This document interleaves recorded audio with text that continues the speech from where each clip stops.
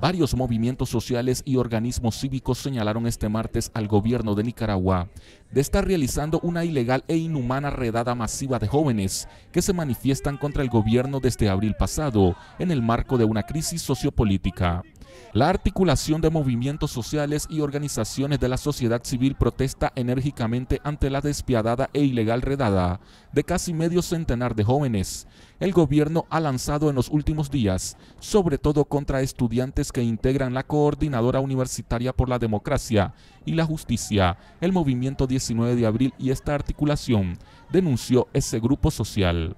La denominada articulación exigió, además, el cese de torturas y tratos crueles que a su juicio practican las autoridades con los detenidos, así como su inmediata puesta en libertad.